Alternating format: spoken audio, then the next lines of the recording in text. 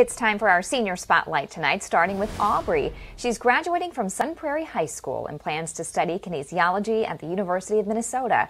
She's also big into cheerleading and hopes to cheer there as well. Next up is Justin, who's graduating from Memorial High School. He's an artist and has attended the School of the Art Institute of Chicago.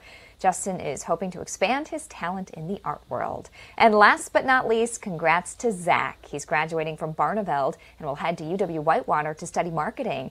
Zach's a jack of all trades, participating in cross country, track, band, forensics, and drama. Congratulations to all of our seniors.